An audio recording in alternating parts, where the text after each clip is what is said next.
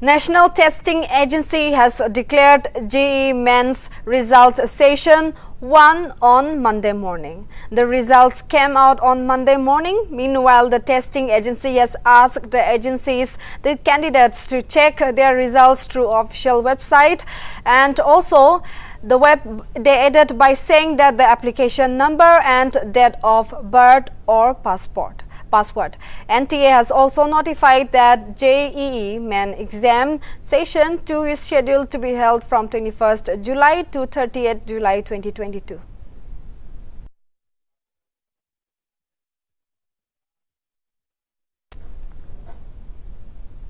Motion, top JEE and NEET coaching institute of Kota is now in Dimapur faculties study materials and test series from Kota directly. Now students from Nagaland can raise their preparation level right here in Dimapur. Admissions open now.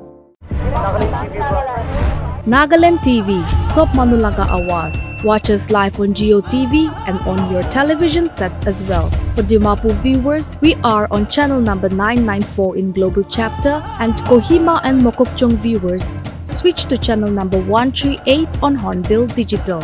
For all news and updates, follow us on Facebook, Instagram, YouTube, and Twitter.